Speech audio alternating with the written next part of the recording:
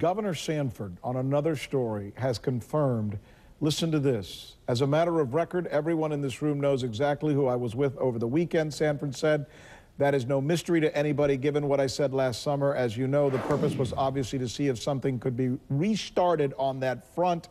Sanford is referring to his, um, his, uh, well, his mistress, right? His girlfriend. Well, uh, well, oh, his soulmate. His soul, soulmate. His Thank you very much. Uh, it, but it looks like the media kind of pressed him because of the questions they asked. What do you make of a governor having to come forward and said, "I went to Florida this weekend and I hung out with my Okay.